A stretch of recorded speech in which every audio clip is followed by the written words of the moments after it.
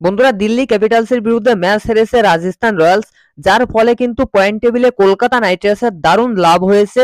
তো কলকাতা নাইট রাইডার্সের কি লাভ হয়েছে, রাজস্থান রয়্যালস হারায় সেটা এই ভিডিওতে জানাব।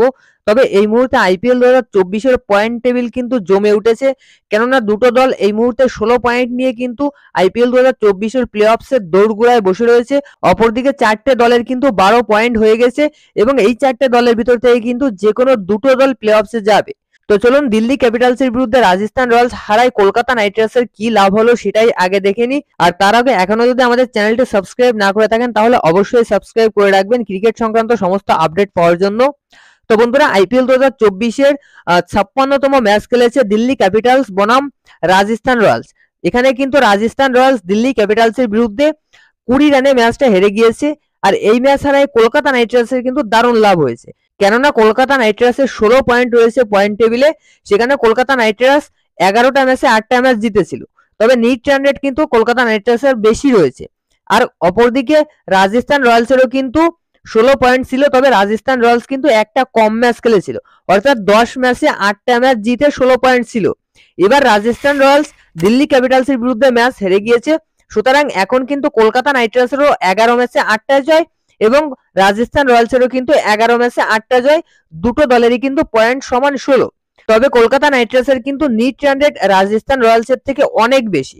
কলকাতা নাইট রাইডার্সের net rate one point four five three, অপরদিকে রাজস্থান রয়্যালসের নিট রেট কিন্তু আরও কমে গিয়েছে দিল্লি ক্যাপিটালসের বিরুদ্ধে ম্যাচ হারায়।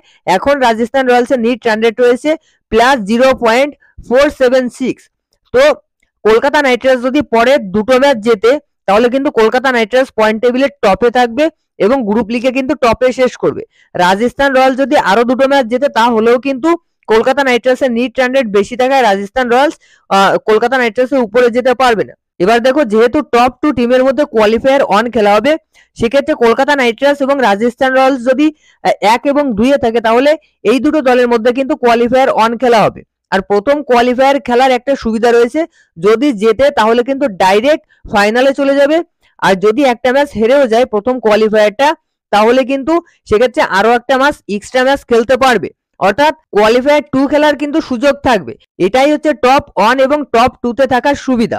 অপরদিকে এই মুহূর্তে দুটো দল কোয়ালিফাই করলেও আনঅফিসিয়ালি কোয়ালিফাই করলেও এখনও কিন্তু আরও দুটো দল কোয়ালিফাই করবে।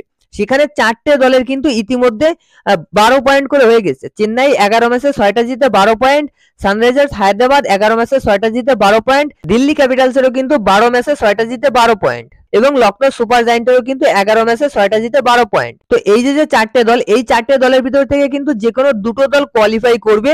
সেখানে দেখুন, চেন্নাই সুপার কিংস এর নিট রেট ভালো রয়েছে। অপরদিকে সানরাইজার্স হায়দ্রাবাদের নিট রেট প্লাস থাকলেও কিন্তু অনেক কম। Zero point six five. আর দিল্লি ক্যাপিটালস এবং লখনৌ সুপার জায়েন্ট, এই দুটো দলের কিন্তু নিট রান রেট মাইনাসে রয়েছে। চেন্নাই সুপার কিংস এবং সানরাইজার্স হায়দ্রাবাদ, এই দুটো দল কিন্তু প্লে অফসে যেতে পারে। লখনৌ সুপার জায়েন্টেরও অনেকটা চান্স রয়েছে, তবে তাদের নিট রান রেট যেহেতু মাইনাসে রয়েছে সেক্ষেত্রে চেন্নাই এবং সানরাইজার্স হায়দ্রাবাদ কিন্তু দিল্লি ক্যাপিটালস এবং লখনৌ সুপার জায়েন্টের থেকে অনেকটা এগিয়ে রয়েছে। তবে সব থেকে বড় সুখবর হচ্ছে কলকাতা নাইট রাইডার্স এবং রাজস্থান রয়্যালস। এই দুটো দল কিন্তু অবশ্যই এক এবং দুই, অর্থাৎ পয়েন্ট টেবিলের টপ টু তে কোয়ালিফাই করছে।